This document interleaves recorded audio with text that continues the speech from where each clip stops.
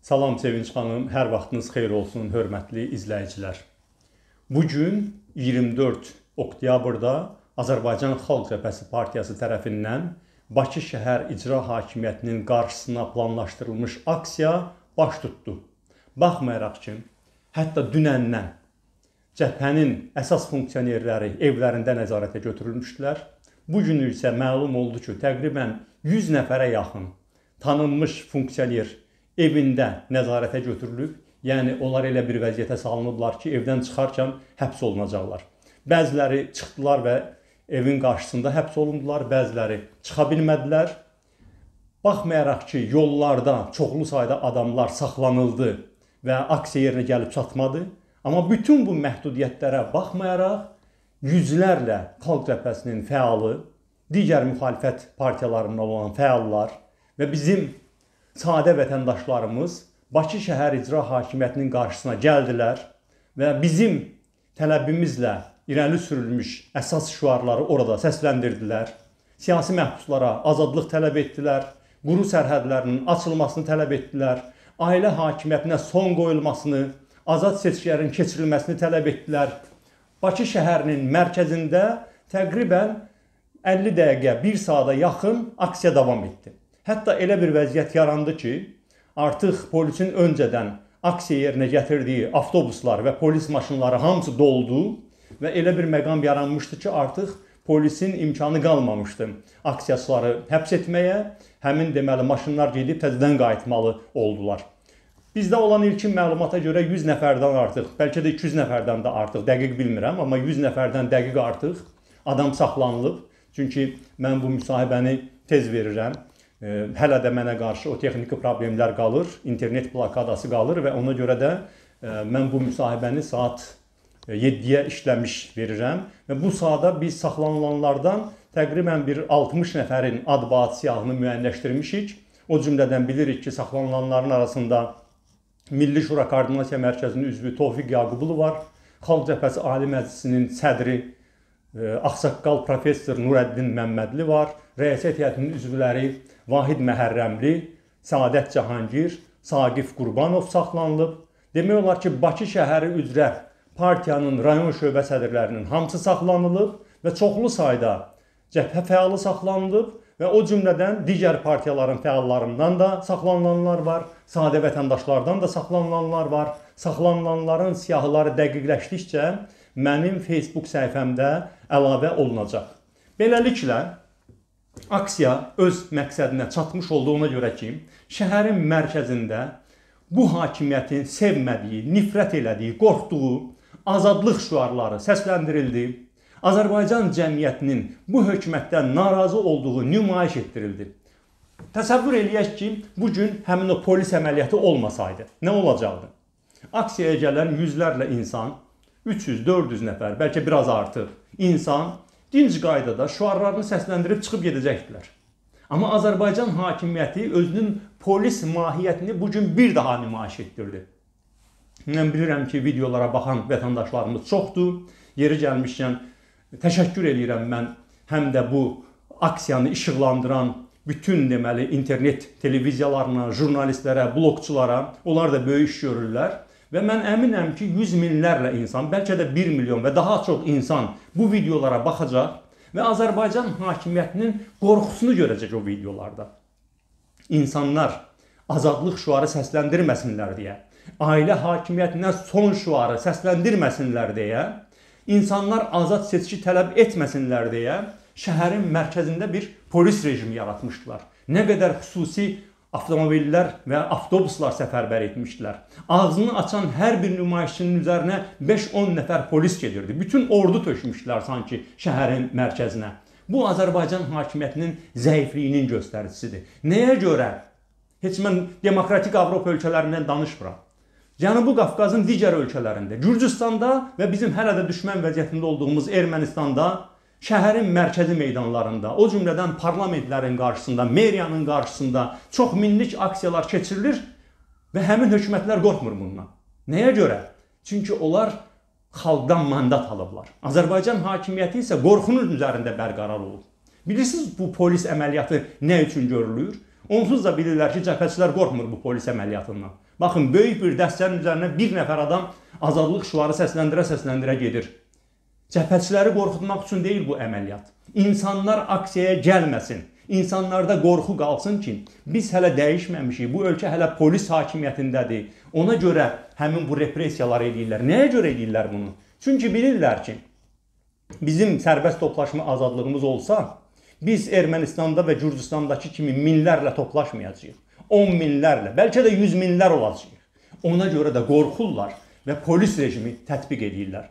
Bugünkü aksiya ona görə həm də məqsədinə nail olunmuş sayılır ki, Azərbaycan hakimiyyətinin bütün baskılarına rəğmən biz Azərbaycan cəmiyyətinə nümayiş etdirdik ki, baxın nə qədər repressivdilər. Azərbaycan hakimiyyəti repressiyanın standartlarına görə təqribən Rusiya ilə müqayisə oluna bilər. Amma buna baxmayaraq bu ölkədə hələ də mütəşəkkil siyasi qüvvə, müxalifət var ki, insanlar onun çağırışı ilə çıxırlar etiraz aksiyalarına, azadlıq şüarı səsləndirirlər, dəyişiklik tələb edirlər və belə bir alternativ var. Bugünkü aksiya siz həmvətənlərimizə o mesajı çatdırdı ki, orada burada gedib mitinq yazmaqla, müxalifət hardadır, niyə aksiya təyin olunmur, artıq bu şüarları yazmağa ehtiyac yoxdur müxalifət var, meydanlardadır. Siz də gəlsəz kütləv olacağıq. Ona görə də bugünkü aksiyanın verdiyi ən böyük mesajlardan biri də siz hörmətli həmvətəndaşlarımıza idi, həmvətənlərimizə idi. Bu mesaj ondan ibarət idi ki, artıq ölkədə nə zaman daha kütləvi aksiyalar olacaq sualının cavabını siz bilirsiniz. Siz nə zaman hə desəniz, siz nə zaman meydanlara gəlsəniz və bir, mən bir məsələ barədə də açıq danışmaq istəyirəm.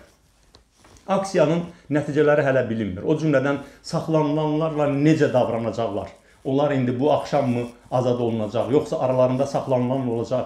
Onlar dəqiq bilinmir. Amma biz təcrübədən bilirik ki, uzaqbaşı pis halda bir neçə nəfər partiya funksioneri inzibati qaydada həbs oluna bilər, cərimə oluna bilər, digərləri buraxılacaqlar.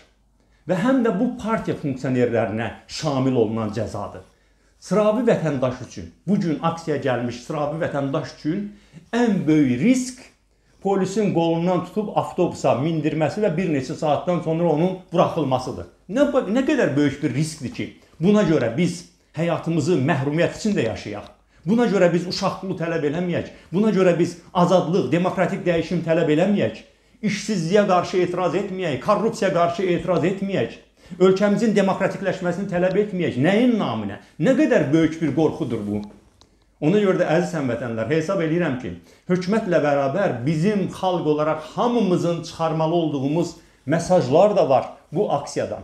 Bu aksiyanın bir nəticəsi də beynəlxalq aləm üçündür. Bəli, bu gün beynəlxalq aləm çox məşğuldur. Diqqət haradadır? Rusiya-Ukrayna savaşında. İstəmirlər diqqət oradan parçalansın. Diqqət haradadır? İrandakı hadisələrdə. Onun müqabilində əlbəttə bizim Bakıda keçirdiyimiz aksiya kiçik bir aksiyadır və dünyanın diqqətini cəlb etməyə bilər. Amma bütün dünya görür. Azərbaycan hakimiyyəti ki, bu ilin yazında başlamışdı.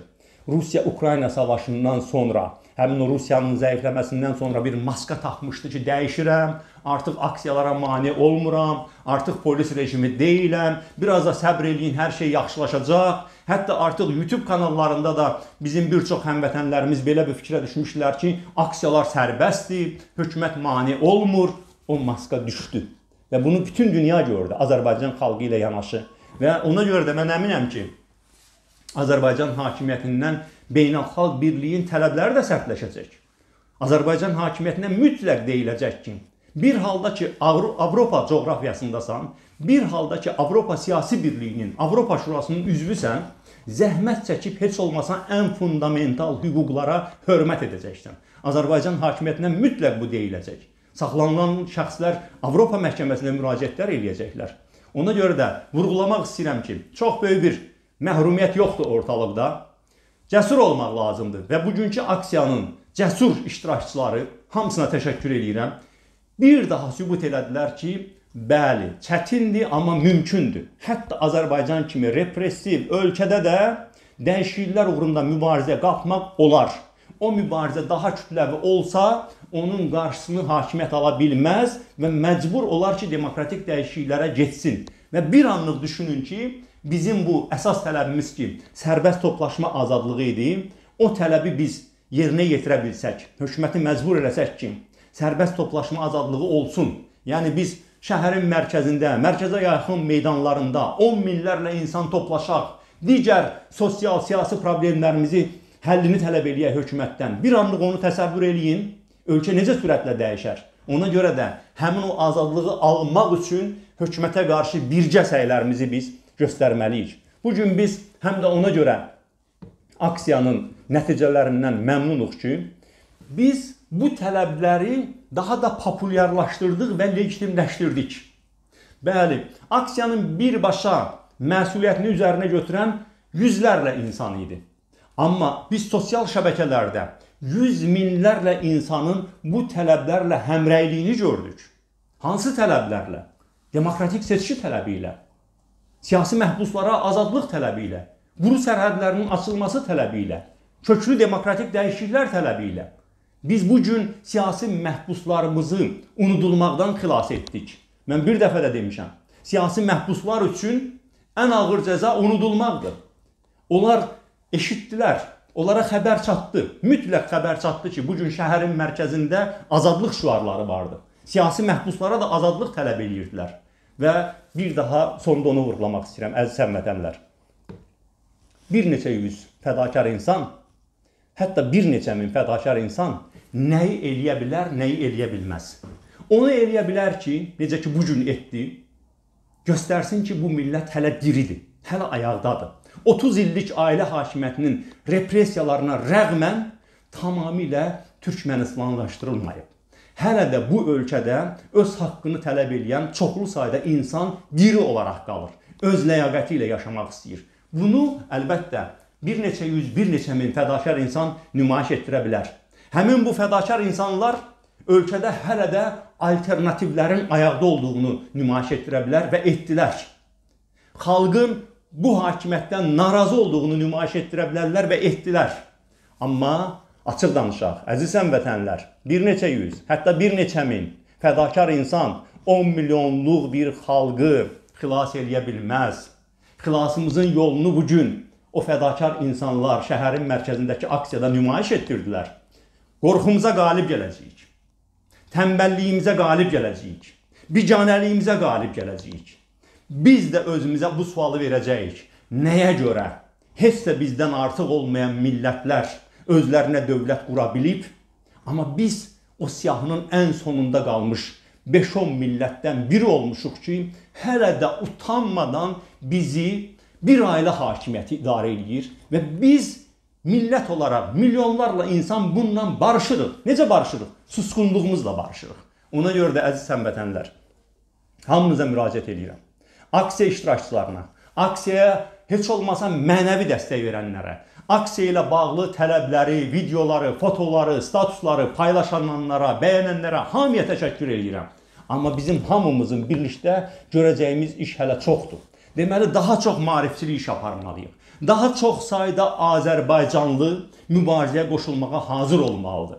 YouTube kanallarda, sosial şəbəkələrdə bu istiqamətdə biz hamımız gecə-gündüz işləməliyik. O bəzən deyirlər, niyə görə çox danışırsınız? Bax buna görə danışırıq ki, daha çox sayda insan öz haqqını, hüququnu bilsin. Başa düşsün ki, biz daha böyük fədakarlıq eləyə bilərik. Bunun üçün biz çox olmalıyıq və fürsətdən istifadə edib demək istəyirəm. Bir halda ki, bu gün həmin bu mübariz insanların bu rejimə qarşı mübarizənin flaqmanı Xalq Cəbhəsinin fəallarıdır. Siz də gəlin qoşulun bu sıralara. Bir halda ki, tək olaraq risk etmirsiniz mübarizəyə qoşulmağa, o zaman gəlin birlikdə qoşulaq bu mübarizəyə.